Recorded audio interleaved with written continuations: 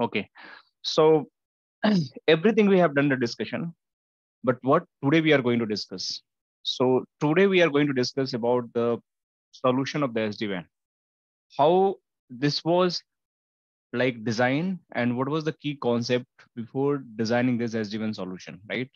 So we understand SDN having a three, three flavors. That is a software defined network having a three flavors. We talk about the SD-WAN, that is for the WAN solution, SD access for the Cisco, that is for the your LAN solution, and ACI for the data center. So three com major component we have, and all three components having some kind of the SDN solution available right now in the market. And we, once we understand everything, you'll become the SDN engineer, right? And you having a complete knowledge about the SD-WAN. So this is how SDN concept was like uh, design initially. But if we talk about the key component of the SD-WAN, how it was drive and how it is going to help you to just serve the different different network requirement. Uh, can I mute? Uh, I can see uh, some noise. All right. So uh, we just started, who joined just late, little bit. We just started right now. So no need to worry. We not officially covered anything. So let's start this, uh, start doing discussion and then we'll talk about again the feature and concept about the disadvantage and the advantage of the SDN. Yesterday also we have done a lot of discussion, but today also we just recap that those are solutions, right? So probably we understand everything together. So the first thing, when you think about the, any routers, let's suppose you having one of the router, then how router handling those packets? Like if any packet is going to land to the router, how the processing of the packet is going to be happen. So uh, anyone want to contribute? Anyone want to like contribute how the processing is going to happen any router and switch when the packet is just going to hit any of the interface. So before going to like after in the packet and before going to out, what all processing is going to happen inside of the router? Anyone want to contribute here? Anyone know about the concept, how it is going to happen?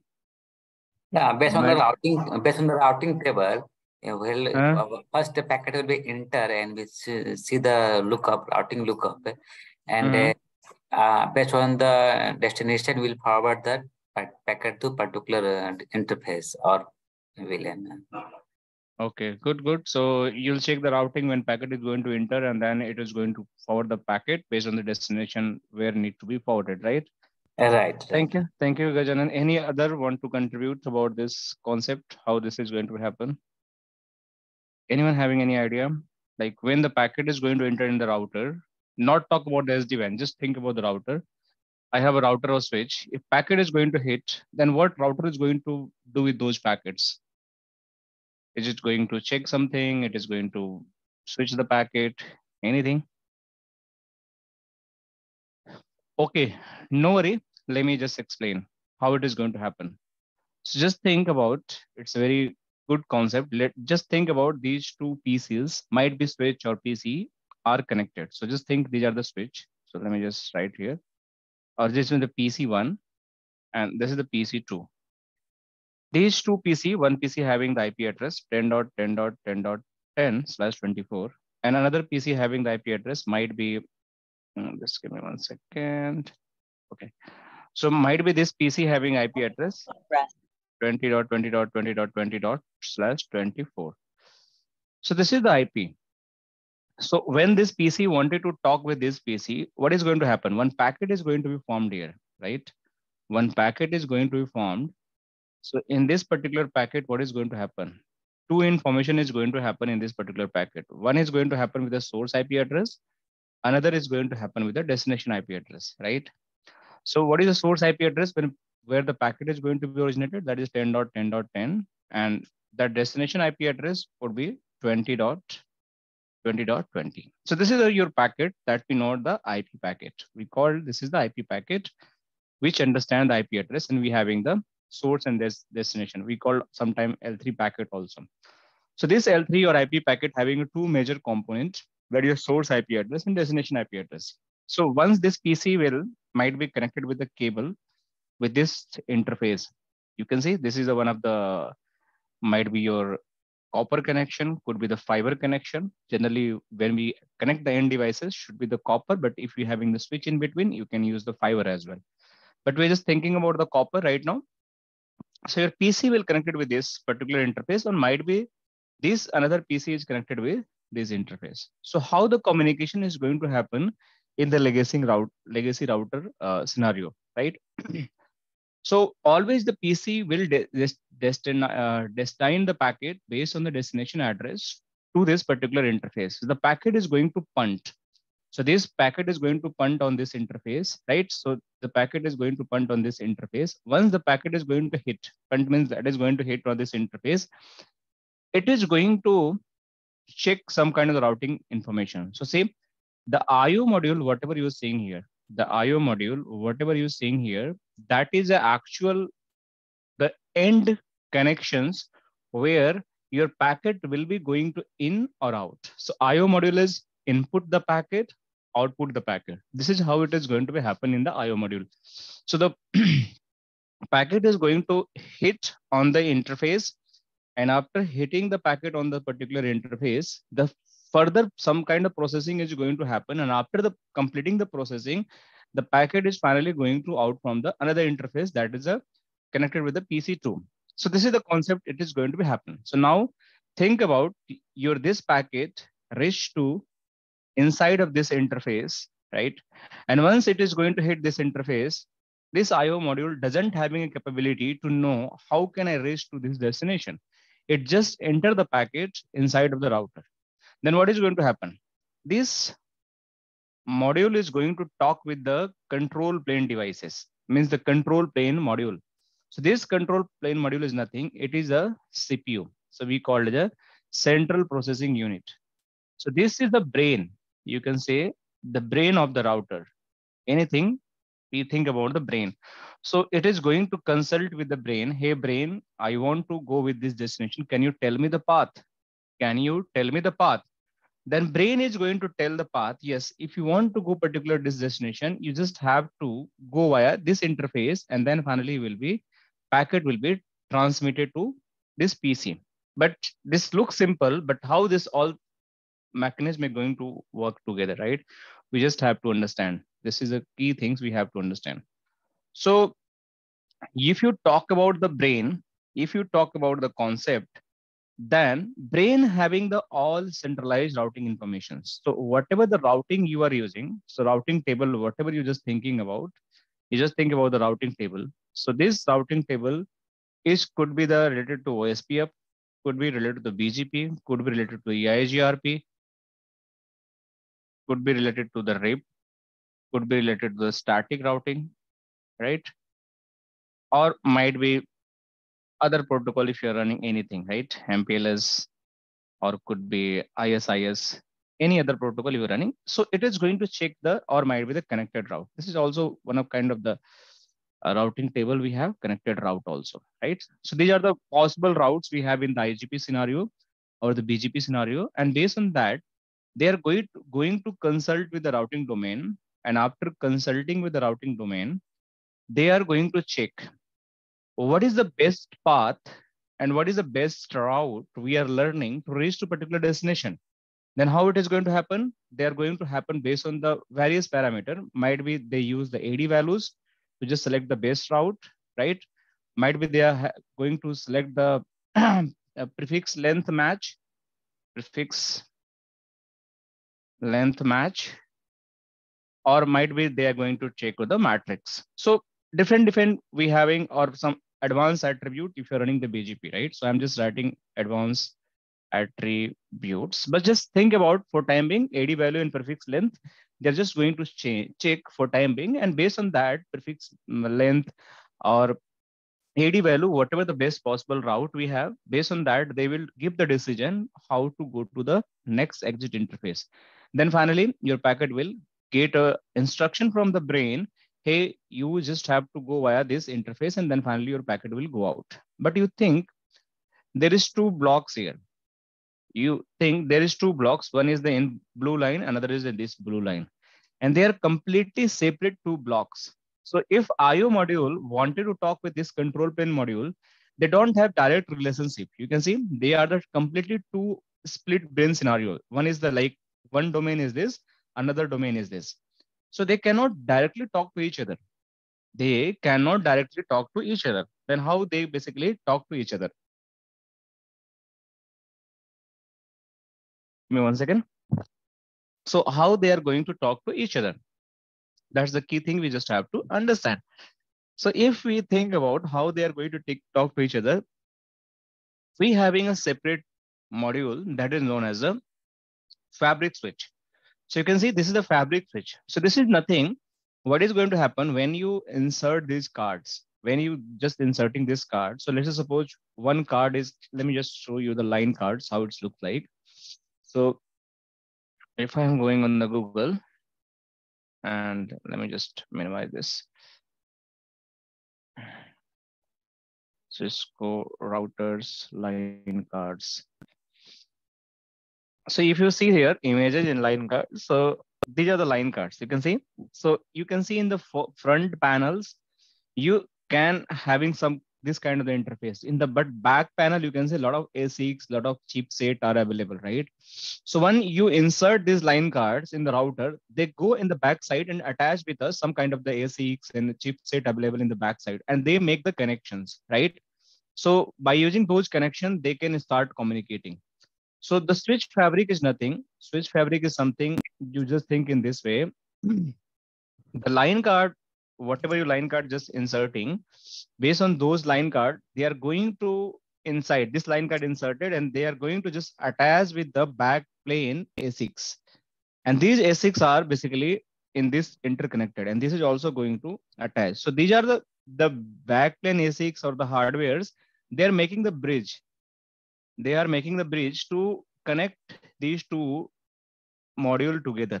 So once anything is going to come here, once anything is going to come here from the IO module, this IO module with the help of this switch fabric, they will consult with the CPU, that is central processing unit for the checking how basically I can go with this particular destination. And then CPU is going to tell you, boss, if you want to go with this particular destination, I have the best route available based on the routing tables, whatever I have. And again, the packet will back to the switch fabric and come to the IO module and the finally packet will go out. So it is called as the our switch fabric. So switch fabric is nothing. It is just to making the connection between the controller and the IO module. That is an actual data plane. So this is the actual data plane module where your IO uh, means where end devices are connected and devices are connected. This is your control plane module where you can take a decision about the routing and any of the packet which you want to switch. And switch fabric is just, you know, making the bridge between these two things, right? So this is how your basically uh, normal router is doing the routing or switching the packet, right? if you're having the similar kind of the switch and you want to do that, you can use in this way also, right? So you don't need to worry. So I hope this concept is clear to everyone, right? How the router treat the packet when the routers accept any kind of the packet before sending to the out of the interface, right? Any question anyone having or everyone clear about this concept? Because this is a very important and based on that, we understand about the next concept. Any question, guys? Anyone? it's clear, sir. We understand how to flow of the uh, hmm. uh, packet from one one IO port to another another port, one panel to okay. another panel through the uh, current through the uh, fabric switch. Means uh, okay. fabric switch work as a bridge and he, hmm. uh, yeah, it communicate to two two panels. Okay, good. So let's move to next concept, right? if I'm going to use the same uh, scenario and I have to do the same thing, like what the same thing? I have to take a packet in SD-WAN fabric, right? And I just want to switch the packet from one location to another location. So how it is going to happen in the SD-WAN? So the concept is going to be used same, whatever the closed box, box solution we have. On basis of the closed box solution, we having a different different uh, like uh, control planes or might be the IO modules with the switch fabric. And based on that, we just taking the decisions.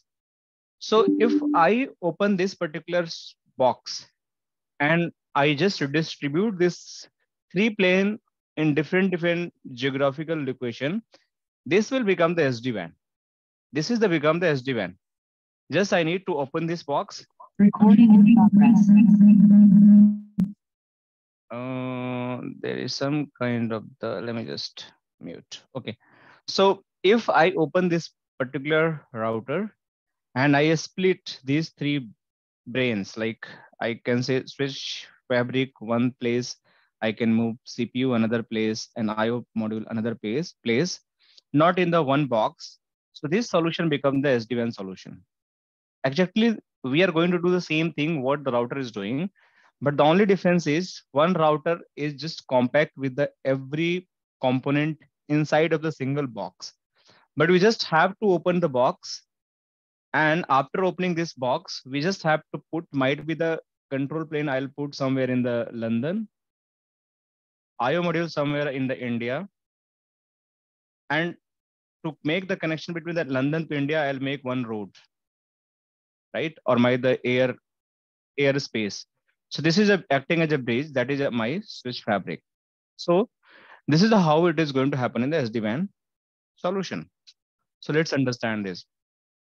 So if I'm going to the next SD-WAN architecture, so this is the SD-WAN architecture. Again, if you see in the SD-WAN architecture, we having the control plane modules. We called as a CPU. We having again switch fabric, right? Similar, and we having the IO modules. So nothing difference is there.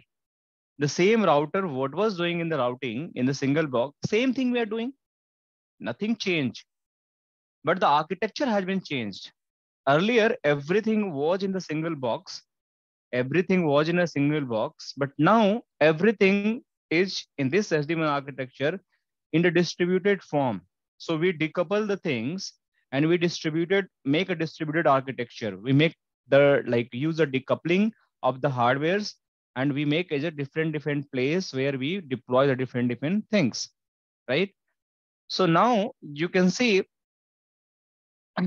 in this way, in a control plane, we put all controllers who is just acting as a brain here. In the IO module, we put actual edge routers, right? Edge routers who just going to give your physical connections to your switch A, switch or might be the users or might be the servers, whatever you connected. So if any packet, the same scenario, if I'm going to take here, let's say suppose earlier we having a scenario, I have just two PC. So let me just draw the same scenario. One PC is here, another PC is here. Just think about, so let me just write here the same scenario and let's see how it is going to happen the routing.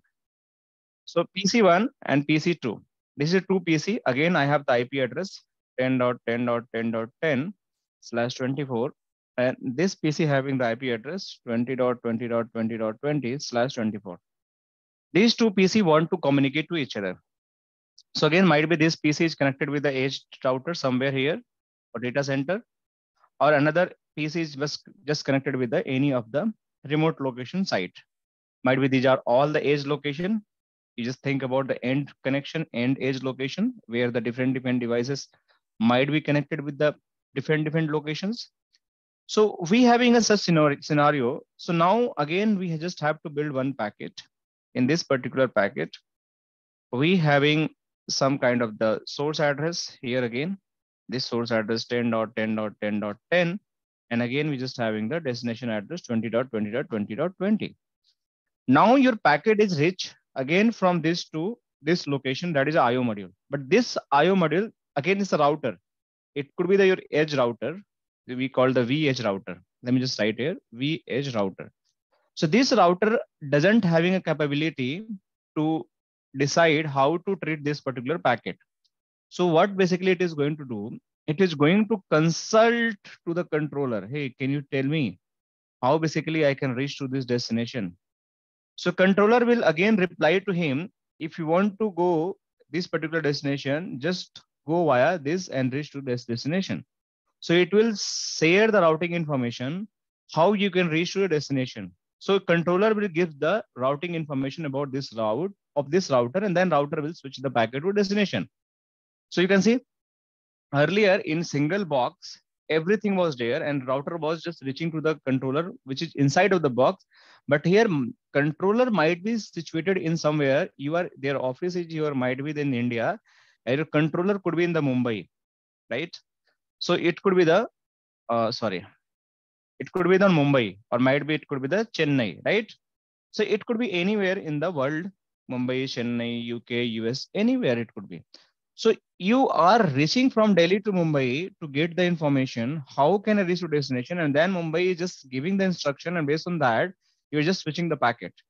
So it's just something not looks weird, right? not it was not like in this scenario, it was not like in the this router. Router was having the everything in build, but here something is a split scenario. So why basically we done? We try to understand together why we design such kind of architecture and why we have done this, right?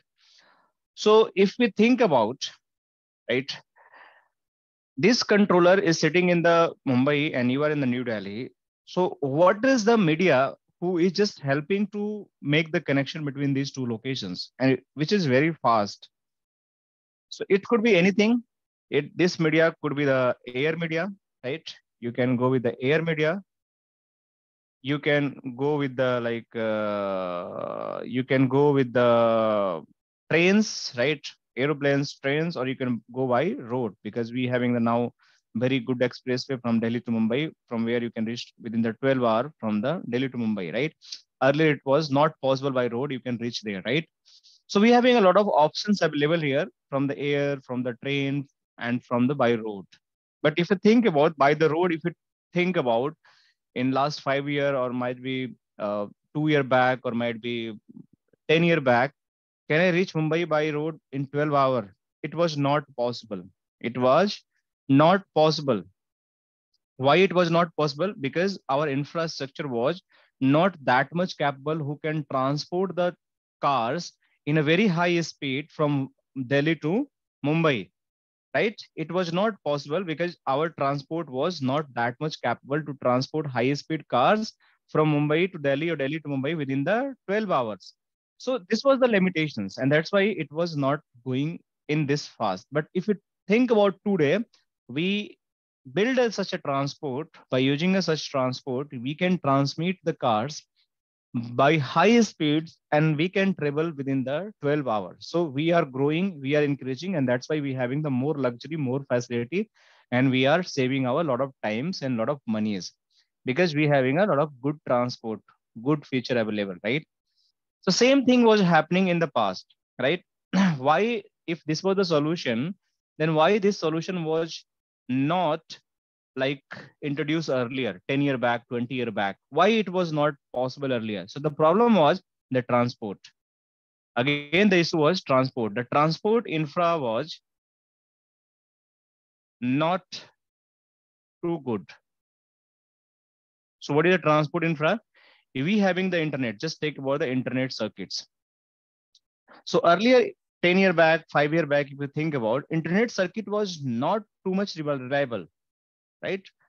It was like unreliables.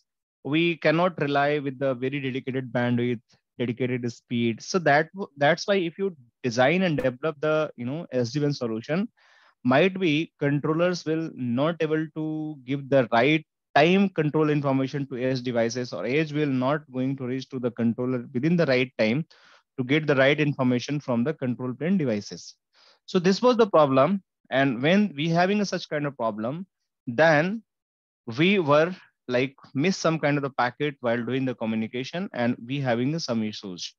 So once we having the very good infrastructure very good transport available between the you know all locations then we are like able to deploy those solutions where if i'm transmitting any of the packet from edge to the controller and i'm looking for the information about the routing it is going to deliver within the 1 milliseconds 2 milliseconds because very high speeds circuits are available between me So this switch fabric is quite capable nowadays. The internet is growing very fast, very reliable. And that's why we having the facility, if anything going to controller, controller within the limited time period of uh, connection, they are going to reply. And based on that reply, your edge is going to take a decision how to reach to destination. So this is how switch fabric is become a very powerful role between the SD-WAN devices. So now you can think about the switch fabric. So switch fabric is acting as a transport, which is nothing, is just your ISP. It could be the MPLS, it could be the broadband interface, uh, internet, it could be your 4G or 5G LTE. Whatever you think, this all could be going with the different different things, which could be your MPLS, which could be your internet, 4G, LTE. So by using this all concept, your packet will keep traveling from the edge location to the control plane devices. So here, earlier the router was intelligent. This router was intelligent. They having the brain inbuilt. But if you talk about the SD-WAN design, technically we can say router is not intelligent. Router is not, or you can say router doesn't have brain the brainless routers we have a brainless routers right so if anything they want to take a decision, any anything they want to take a decision, they just have to reach where? They just have to consult with the control plane. And once the control plane will give the instruction, instructions, based on that, they will forward the packet. So this is the problem with the SD-WAN, right? But this is this is designed based on the, our intent. We don't want to keep every router having their own brains. Why we don't want? because just think about that control plane is like we having earlier thousand router right these all you think about thousand routers they all connected.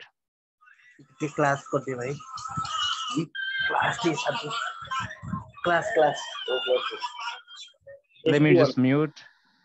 SD-WAN so just think about this is the routers. We having a one router two router three router four five six seven eight. Might be we can say mm, 100 or this goes to till 1000 so thousand router in the legacy. If you talk about the legacy WAN scenario, thousand router having the thousand brains, right? You all agree? So everyone is doing the analysis about the routing decisions based on individual brains. They are not going to consult any others whenever the packet is going to reach this router, it will take the decision by on. This will take the decision by on, and so on. Everyone take the decision by on. But what is going to in SD-WAN? They will just take out all the brains from the all routers. They take out all the brains from all the routers. And after taking out the brains, all the routers, they will put all brain together in this one central locations, right? So this is your thousand brains are available here. So all thousand brains are on this controller. Just think on the, this way. So now what is going to happen? These routers become the brainless because we put all the brains on the control planes. So if now any of the router want to talk any other routers, so they just want to consult with the brain. Hey brain, can you tell me how to reach that? So now this is the concept we use in the SD-WAN and why we do so because it is going a very wider range of the visibility of the network. It is going to give a centralized management. It is going to centralize controlling. It is a, going to give you centralized enforce the policies and whatever you want to control the network. You don't need to touch the individual routers one by one. Just think in, in this way. Let's say suppose in your routing scenario, you having some kind of routing loops, right? you having a, some kind of routing loops. So if you're having a routing loops, you start searching and start doing the troubleshooting one by one routers, right? So might be you have to log in 10 routers to just figure out where is the issue, or might be 20 routers, or might be the 100 routers, depend on the situations, right? You having some kind of the routing protocol issues, any kind of troubleshooting, you just have to go and check everything by one on the routers, right?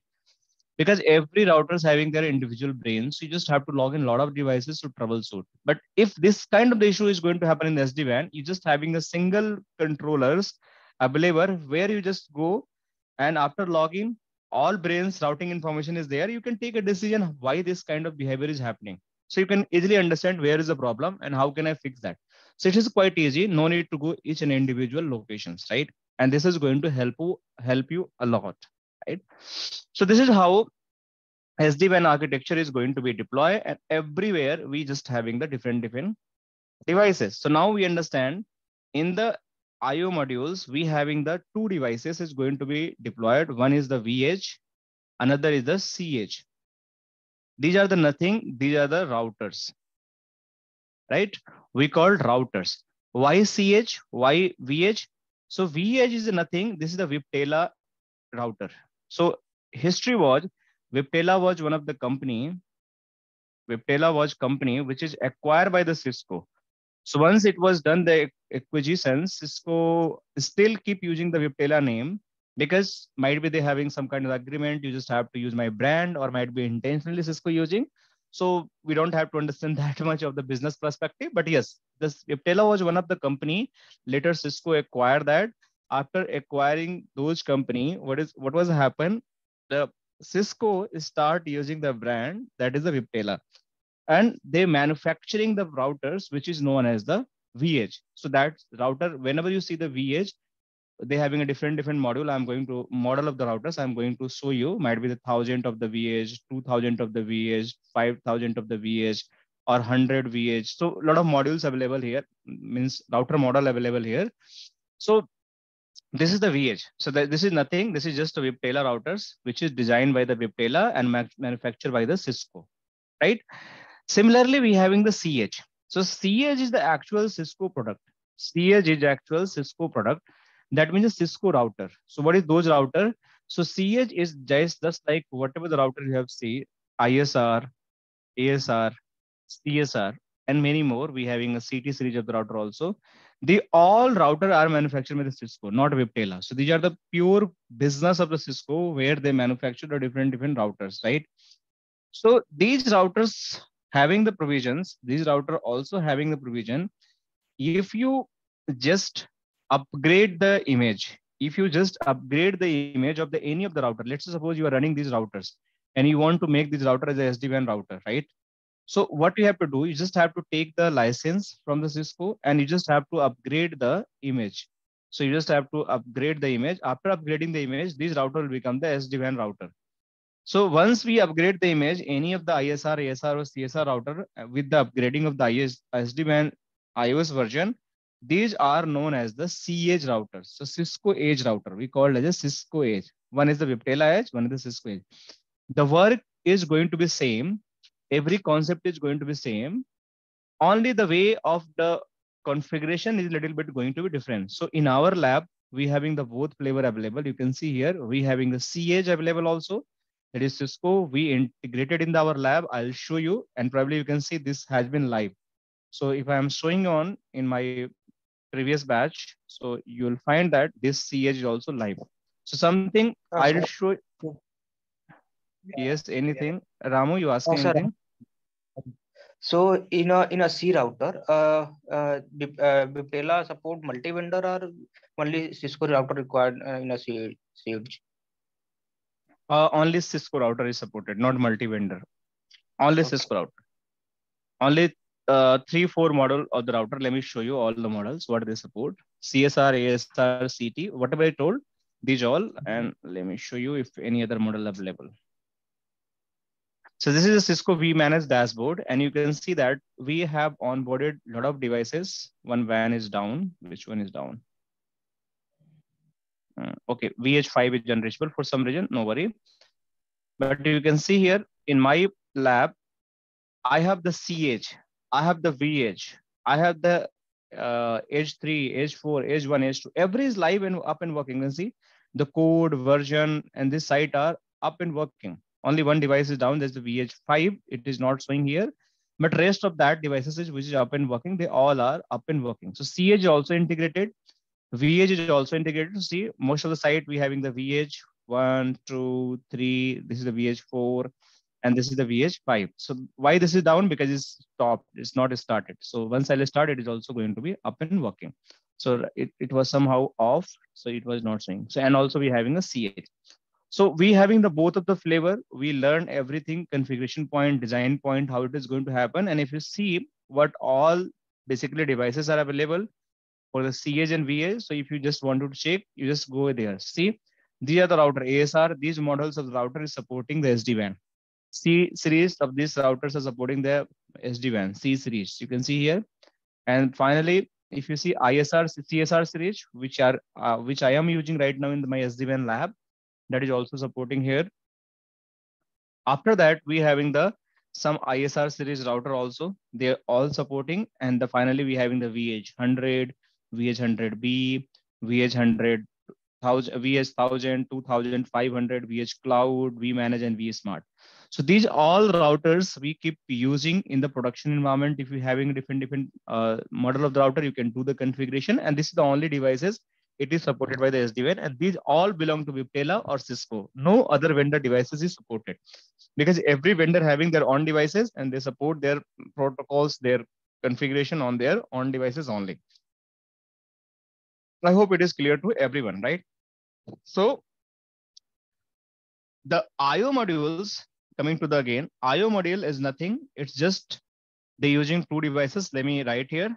It could be the vEdge. It could be the vEdge router or could be the cEdge router.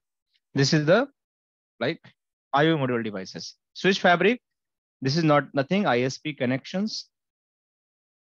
It could be the internet, any type of internet, MPLS, or you might be the 4G circuits, 4G LTE circuits, or 5G circuits, whatever you're having the wireless service, anything is going to be supported. And control plane is something we having a three devices available here that we know as the controllers. The first one is known as the vManage. Okay, the second one is known as the vSmart. And third one is the V bond, which we have to understand. Okay. So we having the control plane devices that we basically known as the vManage, vSmart, and vBond. We have in the edge routers, cEdge. So total we have to understand in entire SD-WAN session the five type of devices. Three is the control plane, and rest is the routers, two type of the routers. So you can see in my lab also, if you go there, we having these three controllers, that is a vManage, vSmart, and vBond, and rest are the like vEdge. And these are the legacy router. We are just acting as a transport. This is the legacy switch. These are the switch. Everything is switch. You can see here. So probably we just have to understand five type of devices entire of the SD-WAN session. But these are not cup of tea and it's not easy task. Okay. We just have to invest a lot of time, a lot of technology. We have to deep dive, have to understand the configuration from the scratch, everything. Okay. So moving forward, you can see here also we having the root CA. So why we use this root CA, we'll discuss more about that. It is this having the special purpose to just certification point of view, we are using this root CA. So we will understand in later stage how why this is going to be used. Okay. Anyone having any question till now? Yeah. Yes, sir. Yes. Tell me, Lim in real time also we are using uh, root certification this uh, real time uh, real time in real time scenario probably answer is no. Uh, unless your organization want to root ca as an enterprise. Enterprise root ca else if you are not uh, using enterprise root ca the answer is no. By default you will get everything certification from the cisco portal or jtp portal pnp portal. So 99% I can say answer is no. 1% customer you will find where they are using the root CA. Okay, then where we are getting the certifications? Every uh, okay, so certification, how it is going to happen, what is the correct process, and how it is going to be applied. We having to discuss in the upcoming days everything about the certifications. You can see in my upcoming section, I will explain about the certification. So if you talk about certification, so we just have to understand how certification is going to happen with the different different devices, right? When we install, right? So we're having a lot, lot of way to do the certification here, the zero trust fabric. We just have to understand when we discuss this particular module in upcoming days, I'll explain how the certification is going to happen. So if you're not using the root CA certification, we're just having to various way to do the certification, right? The device itself, whatever you're purchasing, they're having the device certificate or they having the inbuilt Symantec root chan installed, which is going to be, you know, used to just validate your certificate from the Avnet root CA, right? So we will understand in the upcoming stage how this is going to happen for the different different scenario for the certification. So can we hold for some time if you don't mind? Okay, I got it, sir. Yeah. This, this yeah. is uh, okay. I got it. This pointer. Uh-huh. Okay, but uh, in real time, how we will get uh, if we are not using this root CA, then where we will get the uh, certifications? So that's I'm telling. Uh, that's concept we will understand in the vEdge router identity. This is the concept we just have under. Let me just give an idea, right? Uh, you'll get an answer, right? So whenever I design any of the boxes, I just wanted to not touch this topic today because I want to go in this sequence. So let's say suppose you buy any of the routers from the, any of the vendors, right? So what is going to happen? You you'll get one of the TPM chip is installed inside of the router, right? So that is TPM chip is physical vEdge router uniquely identified by the chassis ID and the certificate serial number. So every device is having these two things very unique chassis ID and certificate serial number. And they having one of the certificate that is a tamper proof module, right? We call TPM chip, right? So tamper proof module is going to install here inside of this particular devices, right? So certificates, whatever certificate you have, they all are going to install in the TPM chip during the manufacturing process. So whatever the manufacturing is going to happen during that, they're going to install after installing this TPM chip, what they are going to do, that certificate, basically what they install inside of the TPM chip, that was signed by the Avnet root CA. So this is the, again, a root CA, which is managed by the, during the manufacturing. This is the enterprise root CA. The work is similar, but the only name is going to be changed. Trusted by the control plane element. This is a trusted by the control plane element. So whenever the router is going to make any kind of decision, you having a choice when, on which root CA you want to make this validation. So when you do the certification, this is a part of our agenda. I'll explain how it is going to happen. So once you do the certification, how you want to make the certification. So you're having a two option. You want to do certification with the enterprise root CA or Symantec Cisco automated. You can see here. So if you choose this Cisco automated or Symantec, it will automatically do the verification. Just have to make the reachability with the root CA. It might be already available based on the PNP portal or your JTP server portal, and it will do backend by on. No need to do anything. It is going to happen automatically. They will just take the you know serial number, chassis number by default, what is available uh, in the device, and based on the serial and chassis number, they will check their repository when the device is onboarded from the vmanage to vwarn and they will just validate and just make this certified this is fine. But if you don't if you want to skip these two things if you're not having the valid license valid things contract then you can use the enterprise root ca which i am using in my lab and by using the enterprise root ca i am telling that hey every my hey every my control plane devices if you want to do verification for the certificates identity, just this is your trusted root CA. Everyone have to agree whatever certificate he is issuing and the same certificate key chain should be installed by you. So we will understand, hope little bit you get an idea, uh, Alim, about this. Yes, sir. Yeah. So this is how it is going to work. So I'll explain in later stage when we'll discuss about the step by step how the certification identity is going to happen. Probably in the next class when we start configuring the lab, then we'll discuss these things in very detail. Okay. So any other question apart from this certification, guys? Because we have to discuss this. Anyone having anything and they want to clarify? okay. So moving forward, moving forward, here Let's discuss using, uh, excuse me. Here Sorry? we are using firewall also. Yeah, we can integrate the firewalls. We'll we'll use uh, one of the router as a firewall to check the different different services. We having a different different scenario, uh, advanced scenario like service insertion, where we just have to take as a firewall as a service, IDS as a service, IPS as a service, network as a service, then we can integrate with the firewall. I'll tell this concept in the later, later stage where uh, we'll discuss everything about the firewall features. Okay. Uh, these okay. are scheduled uh, for weekend only? Sorry? these classes are scheduled for weekend only? Yes, this classes, these classes are only for weekend. Saturday, Sunday, 10 to 12.30. Clear? All right, so moving forward, we understand a little bit about the controller. We a little bit understand about the traffic flow. We understand a little bit about the architecture of the SD-WAN, right? Almost how the we using the decoupling process by the opening the one of the closed box in the open box. Now let's start doing some kind of deep dive in the further section. If we talk about the SD-WAN solution, right? So if I start using any of the PPT, I have a lot of PPT, Cisco SD-WAN solution. They are talking different different things. So every one is talking kind of a similar kind of the concept. So let me just let me just go one by one.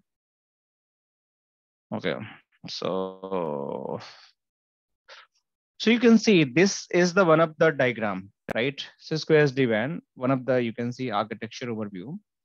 In this architecture overview, as I explained, whenever we talk about the SD-WAN solution, we having total five component, including the vBond, vSmart, vManage, and cEdge, right? And vSmart and vEdge also. So these total, we having the five component, and we just have to complete all our testing and learning based on these five component only, right? So one thing we understand, whenever I talk about data plane or IO module, there is the device which is going to use as the router. It could be the vEdge and could be the cEdge. This is clear to everyone, I hope, right? Whenever I talk about the transport, whenever I talk about the WAN circuit or transport, that is nothing your ISP connection. This is the second like component. The third component is a control plane devices. So control plane devices further classified in three way, right? What is the three way of the control plane devices? So the three way of the control plane devices is one of the plane, which is known as the management plane. One of the plane is known as the orchestration plane. One of the plane is known as the control plane. So your control plane also further classified in the three planes, one of the management plane, one of the control plane, one of the orchestration plane. So let's understand and let's try to get more information. What is the orchestration plane? We'll do the deep dive also, but let's try to understand why use the management plane, why use the control plane and the orchestration plane and data plane.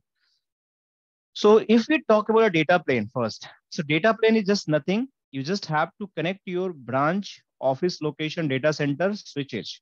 And based on that switches, you can connect the end devices, end users or servers or printer or whatever the uh, wireless uh, controller ap so just think about it is a router. On behind the router we having the lan switch. And behind the lan switch we are connecting different different end devices. Could be the printer could be the ap could be the my server could be the my pc laptop anything could be connected so this is the my data plane devices where i'm actually connecting my end users end devices hope it is clear the switch fabric is just the transport, which is just making the mediator between the controller and the data plane. Now, what is the control plane and why further it is segregated in the three different plane, right? So if I talk about the control plane, the first thing we having the control plane device. It's a part of the controller, but we known as a control plane device. So why basically we use that? So this is the known as the vSmart. This controller we call as a vSmart.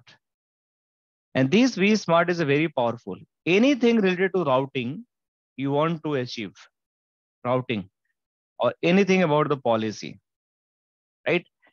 It is going to manage by the vSmart. So routing decision, everything, routing protocols, routing decisions, whatever you think, that is completely going to manage by the vSmart. So vSmart is just responsible to manage every routing information from the fabric perspective, SD-WAN fabric perspective. Few more things I'm going to cover later on in the slides. What else? But just you think routing, if you think who is going to manage, that is the vSmart. And what the routing protocol we are going to use? Only one single routing protocol we use, that is the OMP here. No BGP, no OSPF, no EIGRP in the SD-WAN fabric. We can configure in the LAN, but not in the SD-WAN fabric. That we known as the overlay management protocol. So we called overlay management protocols. So this is the OMP routing protocol. And this routing protocol is a Cisco proprietary. Okay, no other vendor can use this routing protocol. So this is the high level things. vSmart is just for the routing. Now we having the management plane that the device is going to act as a management plane that we know as the vManage. So vManage is like one of the device which is responsible to manage overall fabric. If I talk about the so Alim is asking uh, other vendors which protocol. So other vendor depend on the which vendor you are talking. Different different vendor having different. If you're using Versa SD-WAN, they use the BGP. If you're using the Velo Cloud, they're using the VCMP protocol. If you're using the Palo Alto, they again using the uh, protocol that is a BGP. So different different vendor having a different different routing protocol. Cisco having the OMP. So we just have to learn about the OMP. Different vendor having different routing protocols. but you cannot run OMP in the any other vendors. This is Cisco proprietary routing protocol only. So management plane is something is the one of the single pan of the glass by sitting on that single pan of glass that is known as the vManage. See, this is the basically vManage dashboard. You can see a dashboard. You can see whatever in front of the dashboard. We call this is the vManage. So this tool or this management plane device is very powerful. So if you want to do any configuration, any policy, any kind of troubleshooting, any kind of the audit, logs, so you can do anything from here.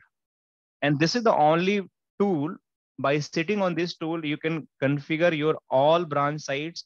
You can monitor your all branch sites you can do any kind of policy configuration you can do any kind of template configuration you can troubleshoot where is the issue what is the issue you can put the utilization report talk topper report any error any connection everything you can put here. I'll show you in later stage. So this is the tool management plane. By sitting on this management plane tool i can do whatever i want related to sd-wan in terms of the configuration management and troubleshooting. So this is something management plane. Now the third tool we have orchestration plane. This is the very important that tool or that device known as the vBond, like a James Bond. And trust me, this vBond is a very powerful.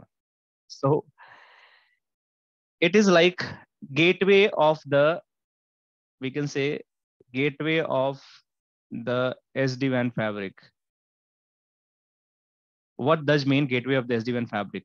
So is that mean that meaning of the gateway of the SD-WAN fabric is that let's suppose you having an offer letter any of the company just i'm giving the example. You having the offer letter any of the company you want to join those company and reach you reach the office and you just go on the reception right? So if you're going to the reception one security person will be there and they might be called to the HR.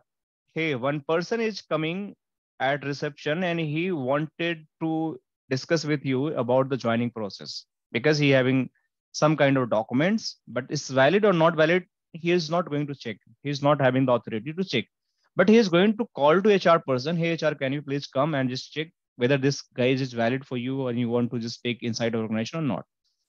So HR is going to come and after coming to HR, they are just going to validate your document, your ID, your offer letter, and your photographs and you. Everything they are going to validate based on the offer letter, photograph, whatever they have. So if they are going to like validate the things, then what is going to happen?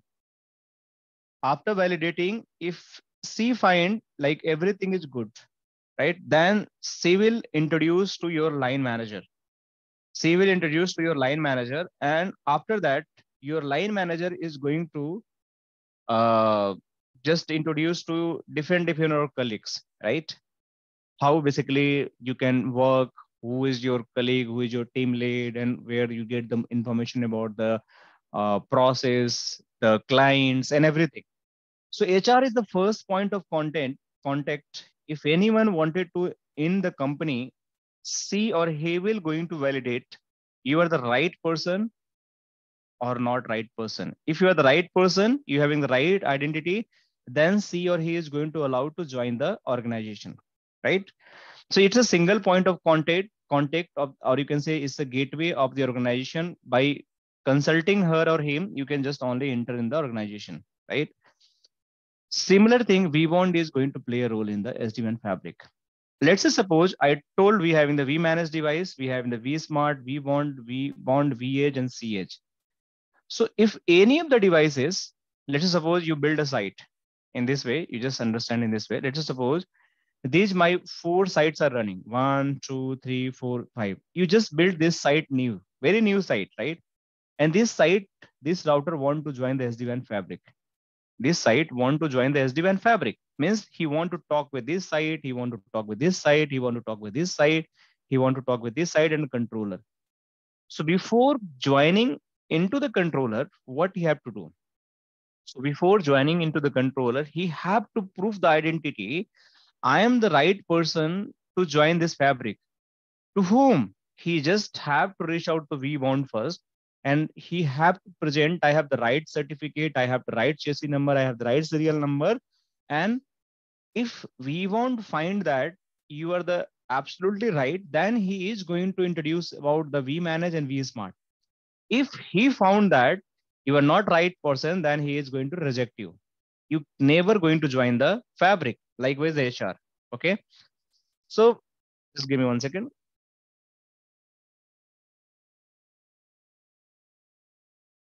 so that means the orchestration plane vbond plane is a very powerful tool to just onboarding any of the devices. So if you want to onboard anyone it just have to prove your identity to the vbond. Vbond is going to verify your identity and if vbond is going to be happy with your identity then only he is going to introduce to the vmanage and vsmart. And then further they are going to give you information about the different different branches. So you can start talking to the different different branches right? So this is the vbond so vbond always known as orchestration plane. And he is going to orchestrate you, he is going to validate you, he is going to check you, and based on that, it is going to be do further actions. So if I go a little bit deeper side of this all SD-WAN controller uh, design or like uh, things, so you'll get a little bit more information. Let me see. Mm. Okay, this is a slide. So you can see how the traditional WAN was working. So at the same thing, the management plane, control plane, data plane, everything inside of the router. So you having the thousand of router, hundred of sites, they all having the similar kind of the like uh, informations, right? But once we go with the Viptela secure extensible network overlay, we having the way of the working is going to be changed, right? So this way of the working, how it is going to be changed, let's understand. so in this architecture, you can see I explained the orchestration plane, management plane, control plane, data plane. But if you go a little bit deeper side, how the orchestration is going to work and what other function they are going to do. So one thing I explained, orchestration plane likewise is the first point of the authentication whitelisting model. Without consultation of the orchestration plane or the Cisco vBond, you cannot join the any kind of the fabric of the SD-WAN what else it is going to perform? It is going to perform like every details about distribute list of the vsmart vmanage so it is going to give you what all vsmart is available what v is, available what vmanage is available to your fabric so every information you will get once you get validated or authenticated by the vsmart it is also responsible to do NAT uh, traversal process. If you're having any NAT scenario in your net uh, requirement in the SD-WAN fabric, so all NAT information, NAT table is going to store in the V bond itself. So he will just going to give the NAT information, right? And right, it's again the public and private IP mapping. It is going to just keep everything behind the NAT or the uh, any of the site which is going to from the private to public that is going to store in the vBond. it's a highly resilient That means you can use the two vBond. So if one is going to down, another will just take a role and it keeps serving your organization. So these all key features, you just have to take care about the orchestration plane. If I moving to the little bit down about the management plane. So as I mentioned that management Sir. plane, Haji, yes, tell me. Yes, um, go up slide. Yeah, yeah.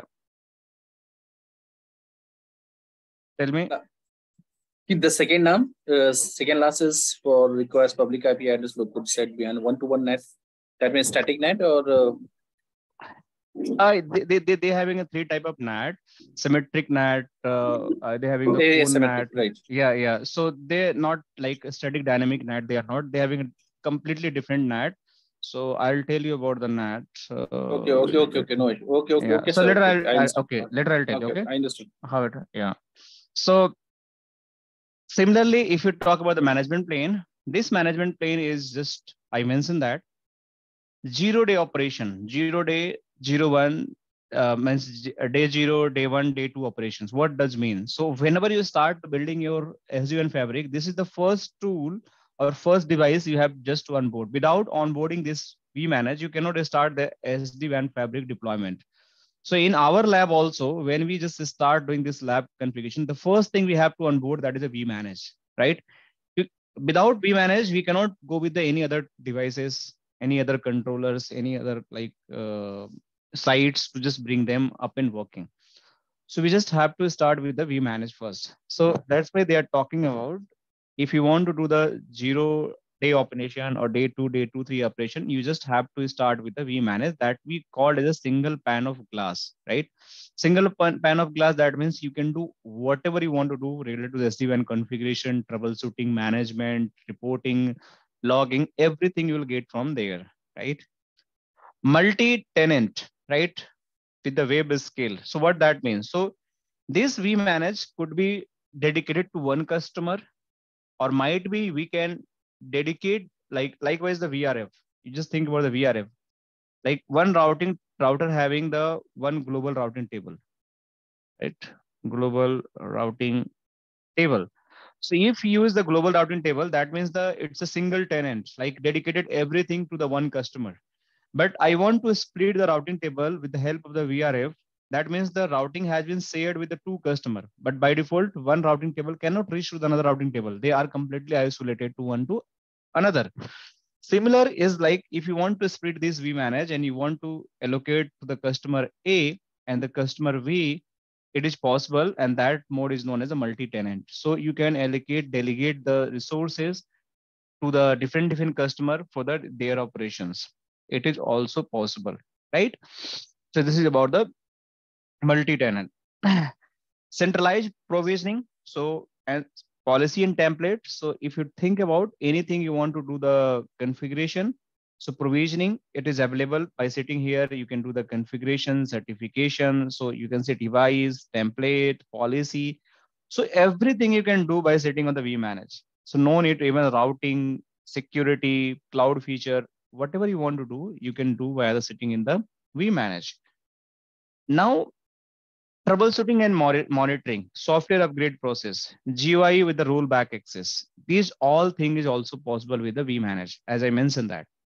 If you want to integrate with a third party like tools for the REST API or netconf, application programmable interface, API is equal to application programmable interface. So you want to integrate the APIs to just get the interact with the one platform to another platform. This is also possible with the help of the vManage. You can integrate them. And they also support the highly resilience features, like they support the highly resiliency. so it is also possible. So if you want to deploy two vManage and you want to make one is the primary, one is the secondary, this is also possible. You can do that. There is no problem. What else? So the last control plane device we have that both, we know as both, the, v, both vManage should be uh, in same place or in other uh, location it could be the same place it could be another location could be in cluster so, so most recommended it should be the other place not in the same place okay so how the both are connected they just have to make the reachability between to each other and then we can make the cluster. And the by making the clusters uh, they just uh, likewise you think about if you want to make that one palo alto sitting in the one location and you want to make the ha with this one palo alto sitting in the firewall in the another data center. So by using the routing uh, feature we can make the ha there is a possibility right? Similar if you want to make the a, like uh, cluster of two vManage by sitting in the one location you can just directly connect with the they're having the backlink uh, connection by using the bus cables and all we can do that but if you want to integrate with the remote location, we just have to make sure they are the reachable. So if you want to make the cluster, let me just show you. We having the cluster managements here. So here, if you want to make the vManage, that should be the IP should be reachable. Whatever the IP of the vManage you are just putting and the username and passwords. Once this IP is reachable, this man vManage is going to talk to them and they will add in the cluster and you just have to complete the cluster settings. Like everything for the resiliency point of view. And then, then it is going to work. So similarly, you just think about the one of the device which could be the located in another region, one is another region. So it is similar like the data centers. You can see one set of the devices for the data center we make in a, might be in the uh, Frankfurt data center. So if it is going to down for any region, might be you having the another data center which might be in the London data center. So if anything goes wrong, the failover services is going to happen automatically because they're having the same set of the resource, same set of devices. So this is one way we can do. So what is going to happen might be your VS devices, whatever the VS devices we have, they are one vManage is here. Sorry, not vManage, Uh, not vEdge. It's the vManage is here. And we having the another vManage is here. So what they are going to do, they are going to form the control connection with these two devices at same time, right? Control connection. But the primary would be this. If this is keep serving you, so the control connection will be up and working for you. But in any case, this controller is goes down. So this control connection will be lost to you. So this will come in active state and it starts serving to you. And in that time, they are serving as a cluster. Does this make sense? Yeah, got it. Yeah. So moving forward, so the next device we have that is the control plane. So the control plane device, when we talk about the control plane device, this control plane device is just about the, you know, facilitate fabric discovery. So that is about the routings, right? Dissimulate the control plane information between the edge, right? So whatever the routing information you want to discover the fabric through the routing, because everyone when the come to the fabric and they authenticate them, the first thing they share with the vSmart, that is their routing information. What I know, I just want to advertise to the vSmart. And then vSmart is going to tell you what they have information. So that is going to share to you. So they are going to dissimulate information to you, you as well. So the fabric is discovered. They will share the information about the my routing information, and the same time, vSmart is going to share their on routing information to you as well. So the both way the communication is going to establish, which is called as the OMP. So that will let me show you for time being. So if I'm going to open any router and if I'm running the command, just for the CLI point of view, so show OMP peer. So you can see this is the router. VS3 is forming the OMP routing table with the vSmart and they are receiving the 24 routing route, installing the 24 routes, and they are sending the 16 route. So the route sent, route installed, and route received. So 24 route they are receiving from the different different branches, and they all are installed. They are valid route, and the same time they are advertising 16 route. So this is showing about one control connections or might the OMP session, which is going to the vSmart but this vSmart having the multiple OMP session because every site is connected to him and they are receiving the every site routing information. We'll do the deeper side understanding later stage, no need to worry, but I'm just showing you to just understand here. So OMP peers.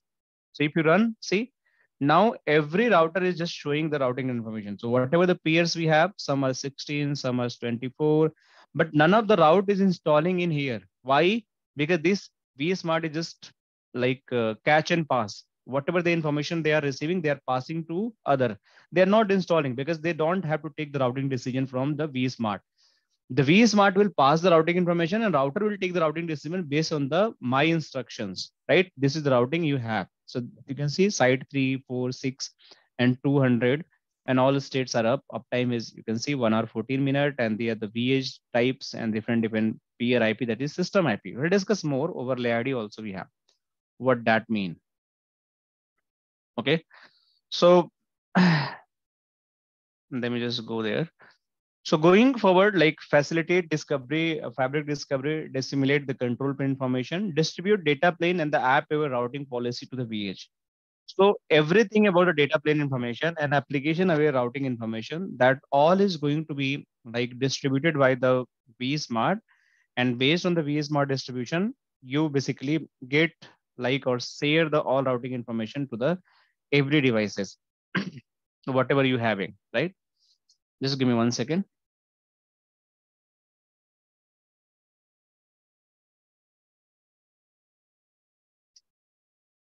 So the next thing is implement the control plane policies, such as the service chaining. So the, you guys are asking the, what is the service chaining where we need a firewall. So this service chaining is like very key component to just maintain the additional security in the SD-WAN fabric. If you want to integrate, the service chaining is going to help. And for that, we just have to integrate the Palo Alto firewall or any ASA firewall or any other third-party firewall, if you really want. so that is also possible in addition of that and in addition of that what else? So if you want to reduce the uh, like control plane complexity so every router will just isolate right? If if i use the like thousand router so thousand router will share the thousand routing information and every router will control that routing information in their brain or they just have to check. But if you use the vSmart it is just single plane where every routing will be available and that is going to distribute to different different routers. So you just have to go and check the routing information in the single device. So it is going to reduce the control plane complexity in terms of the troubleshooting and like checking how the routing behavior is going to happen. And similar they are going to just highly resilience right? So highly resilience means if you're just building two vSmart likewise here and if you're just trying to run so control connections show control connections here. So you can see these devices are building the different different uh, like vManage. If you're having a two vManage, they're just going to build the different different like uh, uh, DTLS and TLS connection with the different vManage. But right now we just having the single vManage. They're just building with the one VPLS connection. Now we can see the vSmart having a two connection, but they are the same. Only difference is they are building the connection with the two different transport. We'll understand what that means. Similarly, the vBond, they are the same. You can see but they are building with the three different transport. You can see biz internet, public internet, and the MPLS. That's why they're having a three connections. So even we having the same controller, but we having the multiple transport, they are just going to be used with the all transport control connection. But vManage what's happened, even they having a three transport or two transport, vManage always build a connection with the, any single transport. Once the connection is built, they are not going to uh, change or show the, all the connection unless or until the first build connection is going to be down. So if I make the public connection down, it will automatically switch to the MPLS without any tension. And once it will be on MPLS, the public internet will be up. It will never switch to public internet. It will keep stay on the MPLS only.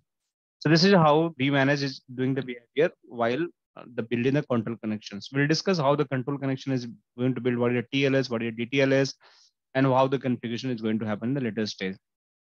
So these all feature about the control plane devices. This could be the highly resilience also. Now the last but not least about the data plane devices, which we discussed earlier. So in these data plane devices, we having that WAN edge router could be the vEdge. Uh, Arjun, uh, Sumit, you asking something? Yes, sir. When the ISP end, there is a, some fiber break or any connectivity issue. So that's very time between controllers and vEdge device, there is a BFD session goes down or OMP session goes down? First, you have to understand BFD session. Control plane session or like control session I can write or OMP session. An IPsec session. So now your question is when any ISP goes down, right? ISP goes down, right?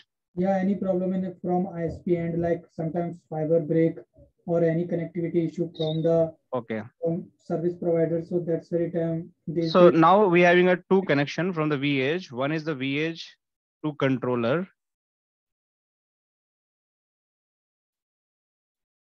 Controllers and one vEdge to vEdge. There's two connections, right? So which one is down? Tell me, which, which scenario you're talking? Sir, I'm just asking that uh, if there is a problem from service provider, so I, I understand. I understand your question. So now see, this is a topology. So this is this is the service provider, right? Yes, sir. One service provider is here connecting to the VS to vEdge, and the same service provider is connecting to the vEdge to the controller, right? Other so side. if if this link goes down, so my I lost the controller connections. You can see, you can see, makes sense. If these two links goes down, I lost the control connection. If this link is up, this link is up, and this goes down, this goes down, and might be uh, this goes down. So I lost the VS3 connections. So there's two different things. So which one you are referring? Because we we just have to understand the scenario. Your question is completely valid, but which one you are referring, which scenario? I just wanted to uh, make sure. Or you are not. Can, can we explain both both the scenario? Huh, yeah. So that's I wanted to uh, ask. Sumit, let me just explain. See, so your question is valid, but we just have to think in this way. See, whenever you talk about the BFD session, right, an IPsec session and control session or MP session, we just have to understand where we make the BFD session. So BFD session always run between the edge devices. If you're having the edge devices, means router to router, we run the BFD, right? We run the IPsec. We discuss more. So if your ISP link goes down between the edge devices, then your BFD is going to be down or your IPsec is going to down. Is it clear? So this is the one scenario. If we having the controller that is a v smart. If we having a controller that is a v manage. If we having a controller that is a v bond. So there's a three tunnels going to form between the V vh with the isp so it could be a single isp it could be the multiple isp just think about these all controller reachable with a single isp so if this ISP might goes down, this is the one ISP, which is just providing the fabric, might be this ISP is Verizon. If this ISP goes down, then what all going to down? So if I talk about the vSmart, vSmart will make down its control connection. The first thing, control connection, and the same time it's going to down OMP sessions because OMP session always run between the vSmart to vEdge. But for vManage only, they lost the control connection. He lost the control connection. So the control connection run between the controller and vEdge, but vSmart run the OMP session also. So OMP session is going to down with the vSmart. Control session is going to be down with the vManage and the vBond. And the BFD and the IPsec is going to down if this connection is going to lost between the vEdge devices. Sir, Clear? It seems, it seems then if there is a connectivity issue between edge to edge device, so that's the time BFD session goes down. Yes, you lost the data connection problem. Data connection problem you get here. But here, hand, if you brain down, you get Yeah. the control connection problem. So you just have to understand where BFD run. I'll cover this thing in very detail, but I just wanted to convey this message. Clear, the Sumit? other hand, if there is a issue between controllers between, so that's the time OMP session goes down. No, no, no, no, no. Again, let me just clarify. So you understand vEdge to V Smart, OMP, and control. Is clear? vEdge to V manage only the TLS and DTLS, TLS and uh, DTLS and TLS control connection. This could be the TLS and DTLS. This is only for DTLS, not TLS. This could be TLS and DTLS. DTLS, uh, said TLS. These are control connections. We'll discuss more. So just think about if V Smart ISP to VS down, OMP will also down along with the control connection. But this goes down between that uh, vManage to VS, only your control is going down. Only the control because there is no OMP running between the VS and VS vManage. There is no OMP running between the V uh, edge to the V bond. There is no OMP running between the VS devices. You got it first, but let's understand in this way. Again, you're having a two controller of the V Smart. So they are again running the OMP and control connections. If you're having the, again the V manage, they are they again running the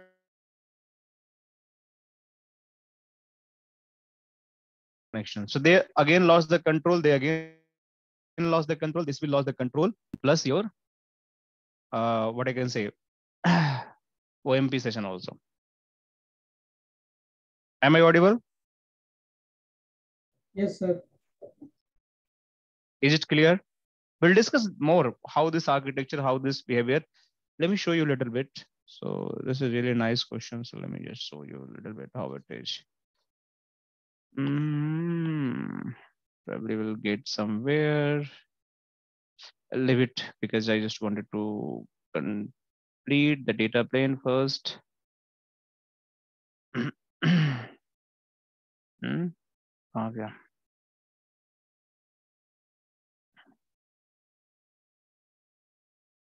Okay, so let me just go a little bit down.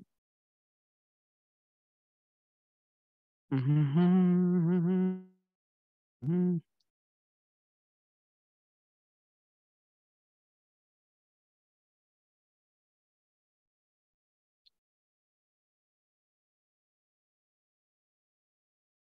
So see, you can see here, you are running the OMP between the vSmart to the vEdge and between the vEdge.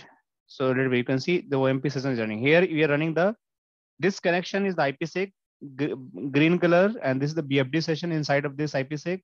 DTLS is this one. So OMP DTLS is just running inside between the vEdge. We'll discuss a little bit more, not only the upper, we'll discuss everything in detail in upcoming section, right? And you can see here, here if you talk about that, see, so these are the, if controller is just running the vSmart and vSmart, they all are running the OMP in between. So MP is going to use between the smart to smart as well and smart to vEdge as well. So we'll understand, no need to worry. Any other question about that? No, so I was talking, uh, yeah. Any anyone saying something? Okay. So we we were talking about the data plane. So this is going to be WAN edge routers, could be the vEdge, could be the C edge. It provides the secure data plane with the remote edge router. How? Secure data plane by using the IPsec. So every edge to edge connection is going to build via the IPsec under the IPsec, your all data communication is going to happen. So actual data is going to be communicated with the help of the IPsec and one device is going to talk with the another device, right? OMP session is going to be established between the edge device to the vSmart. That is OMP. How? With the help of the control connections. The first thing is going to establish the control connections. And after establishing the control connections, inside of the control connection, your OMP session is going to be established. So you can see here, first TLS and DTLS is going to be established and inside of the TLS, DTLS, OMP session is going to happen. First BFD session is going to build inside of the BFD session, the your, uh, sorry, first the IPsec session is going to build and inside of the IPsec, your BFD session is going to be run. So if anyone asks you, inside of the OMP, we run the TLS and DTLS or inside of TLS, DTLS, we are running the OMP. So you should be able to answer inside the TLS and DTLS, we are running the OMP. Inside BFD, we are running the IPsec or inside IPsec, we are running the BFD. So the answer is inside IPsec, we are running the BFD. First IPsec is going to build and then BFD is going to build. First TLS, DTLS tunnel is going to build and then you just have to OMP net to activate it. TLS is based on the TCP uh, sorry, TLS is based on the uh, UDP, TLS is based on the TCP. You just have to note. We'll discuss, I'll explain how it is going to configure in next class. So this you have to take care in mind. So this is the same thing.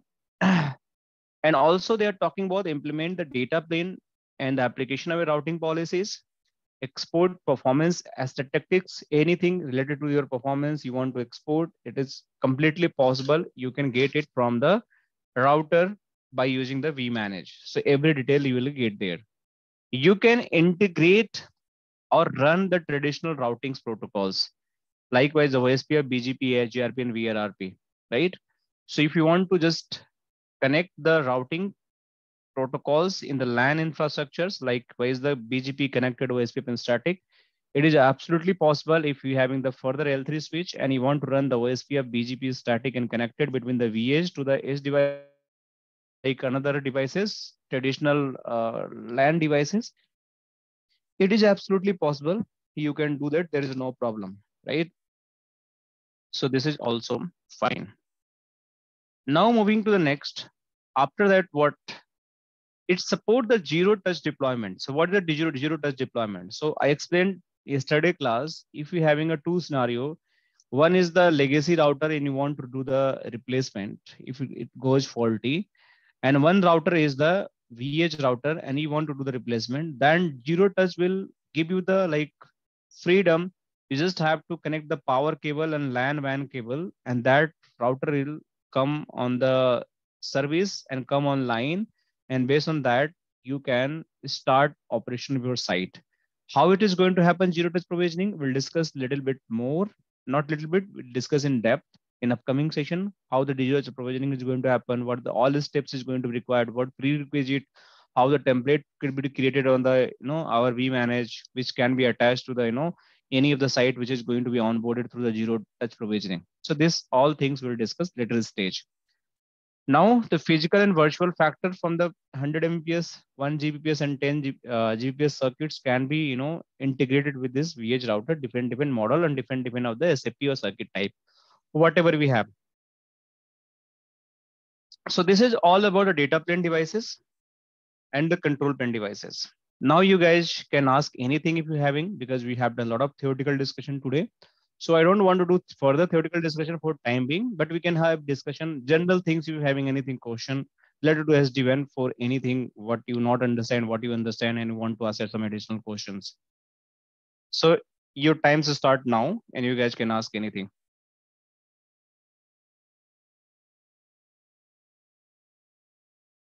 All good?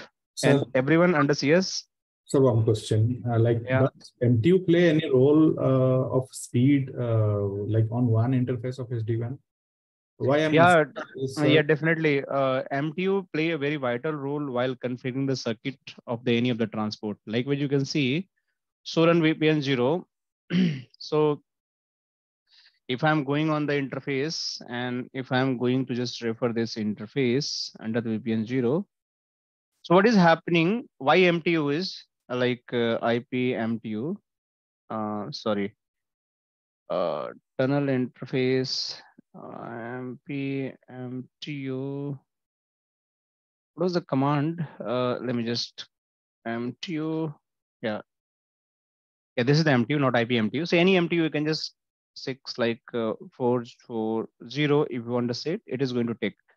So MTU is like we need to adjust and we just have to make MTU always lower than 1500 of the any of the circuit.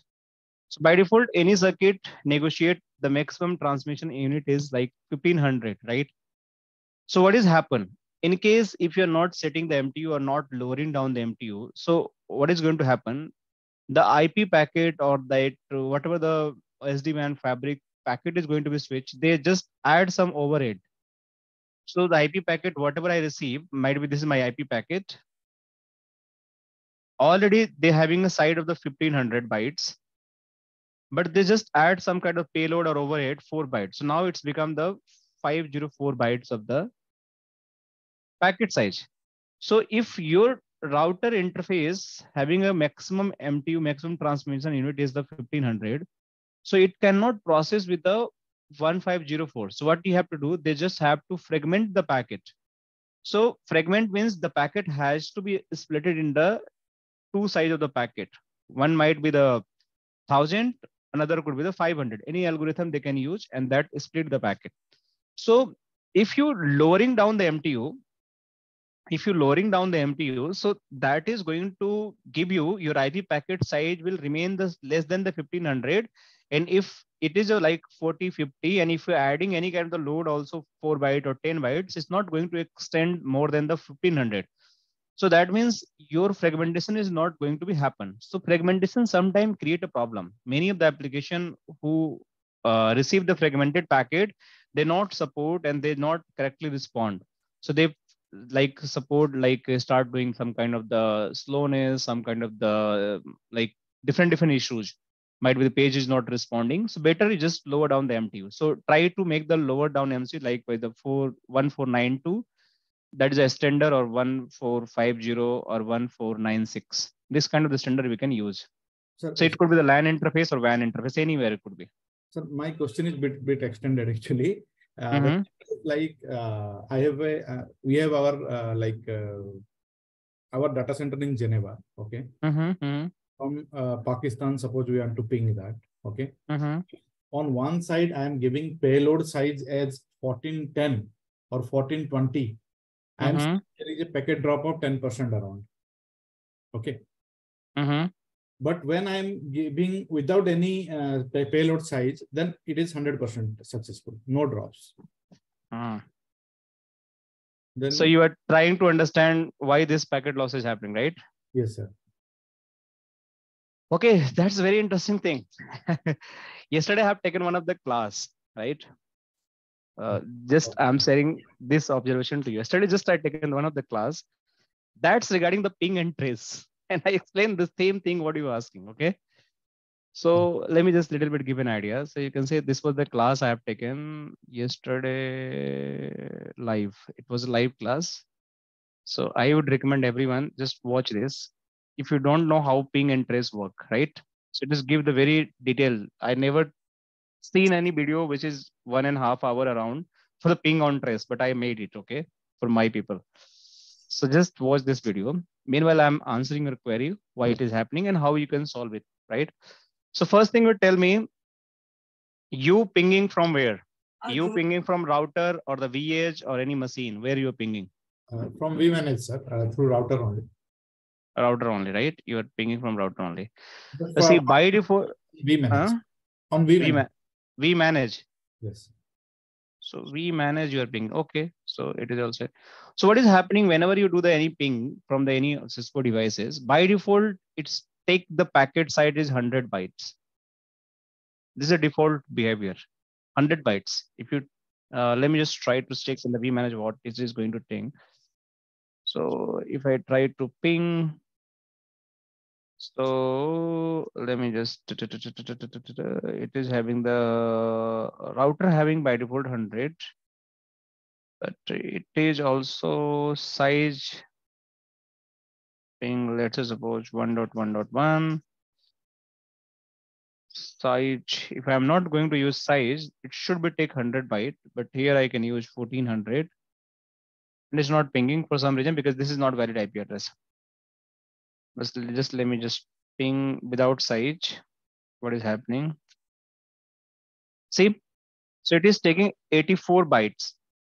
Here 56 byte size. You can see. I've taken the 1400 byte. If I'm not saying anything, it is taking 5600 byte. Uh, sorry, 56 byte only packet. So your size is quite low. You understand? Yes, your sir. payload size is quite low, just 56 byte. If you're not sizing anything, but if you size anything, like if you're just sizing like 100, then see, it is become the 100. You can see 100 bytes. So if you're increasing the size, might be some hope, some device in between, which is supporting not more than 1300 or might be the 1350. And that's why they are observing the packet loss. Or might be the link between the vManage to the your ISP is not taking load, not taking correct load. So you just probably have to word with ISP. Hey ISP, if I'm sending my packet, this is a real or this is a like dummy network, lab network. Uh, then I'm asked. You need to ask ISP, right, sir? So, uh, Pramit, it is a real network or dummy lab network? Real, real network. Sir. Real network. Okay. So you just have to take to the with ISP. Hey ISP, I'm just pinging with the 56 byte packet that is default. It is not having any problem. But when I'm increasing the load, your circuit is not handling the load and it is giving the drop. Can you check the circuit status? Then so you can ideal loads are we should give to test. That should be around 1400. This is the ideal load. 1400, 1350, 1450, not more than that. Just I recommend 1400 is ideal load, best load to test. Okay. Anything. Yeah, not more than that because the overhead overload packet is like uh, 100 byte is like quite very big. So I cannot say like 1400 is going to support. Okay. But you just have to understand how much size is going to default take. So always default size is quite low. If you check the same thing with the router, it is 100. Uh, let me show you because I just covered yesterday in the CCNP. Uh, pinging anything, let me just show you. So here it is not showing any size, right? Default. But when you do for the extended ping, so if I go ping and I just put the target IP 1.1.1, repeat count anything, datagram, see, this is size. By default, 100 size is taking. So router and switch by default take 100 and the V edge vSmart let me check with the vManage also, how much it is taking. Let me check vManage also. Hmm, क्या हो गया इसको? It is giving the error.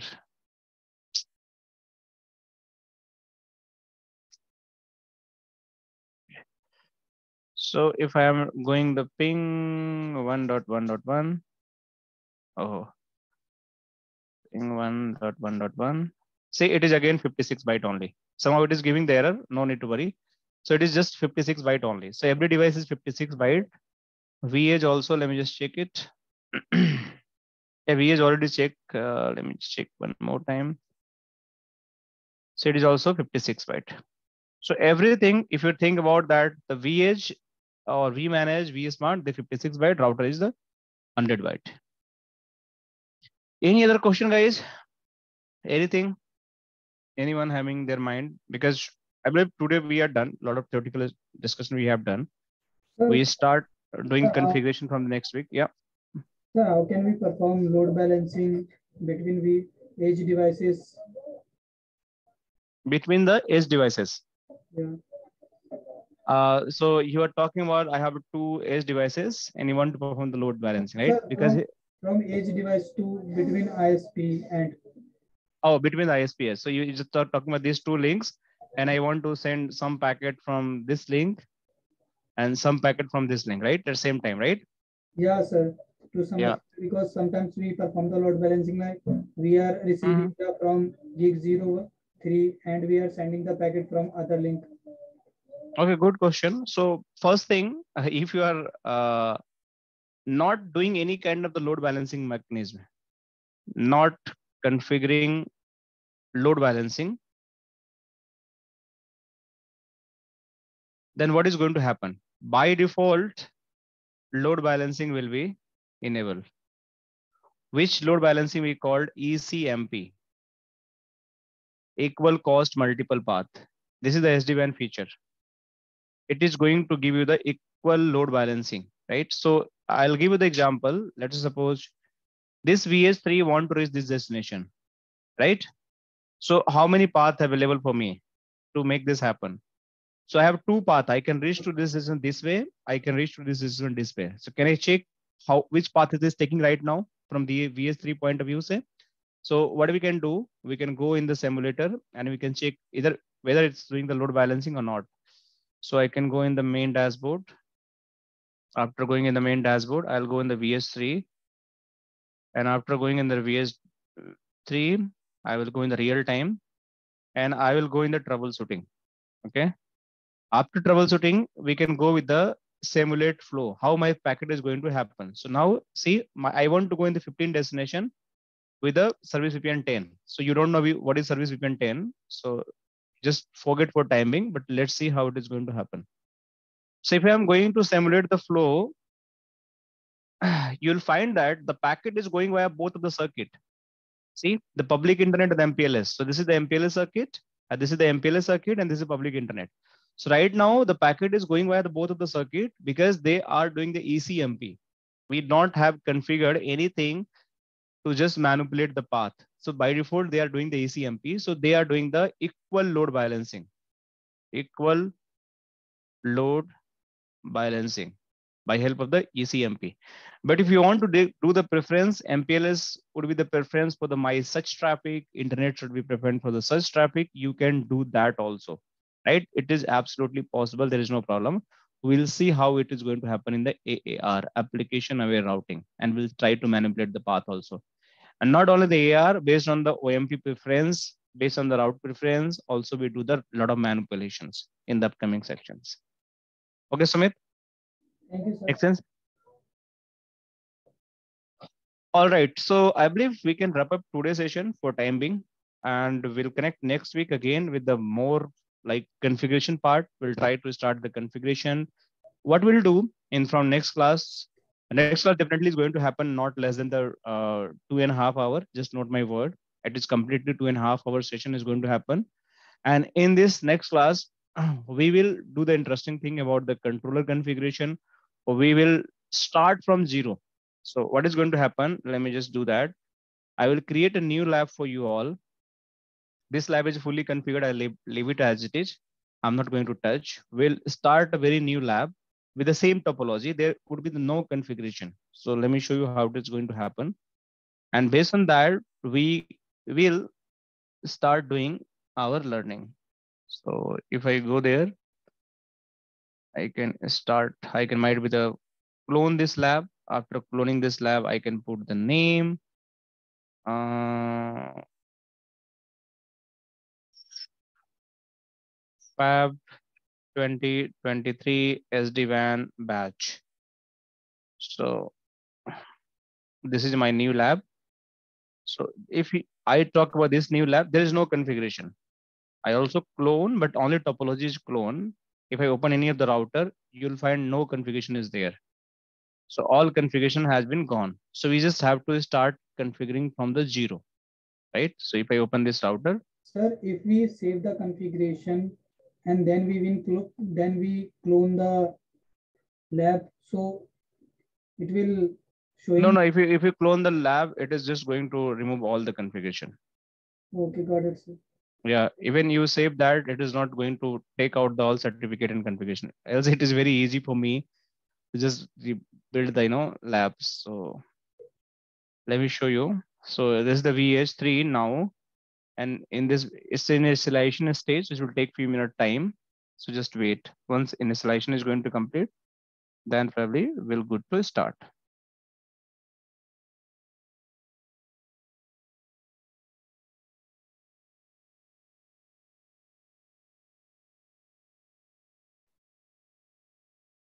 okay so now system is ready so if i'm using the password username and password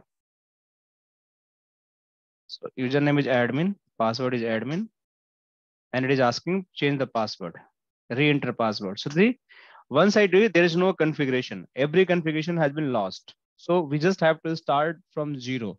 So this device doesn't having any configuration.